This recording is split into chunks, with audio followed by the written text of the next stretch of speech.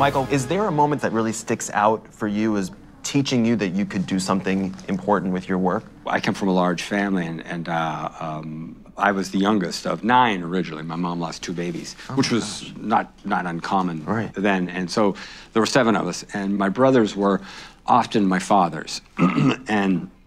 And sometimes my sisters were my fathers. It was literally, it was like that. You know, everybody just pitched in and did what you had to do, whether you, you liked to or not. As an example, my brothers would go out and would play baseball for hours and hours and hours on end. And you were never allowed to, to walk and pick up the ball. You had to turn, you had to run as fast and as hard as you could, pick up the ball, run back to position. And, and sometimes now that they're older, they say, we, we, you, you must hate us for this. First of all, I loved it. I could have done it all day long because I loved the game, but also I think because I was they were paying attention. You know, there were there were these older guys and mm-hmm. involved with me. You know, and I, I just I loved it. I I would do it today. I'd leave right now and do it right now. These questions are always tough because you know th- these are the things you think of when you're you're driving down the interstate or or you're you know, or you're looking at avocados.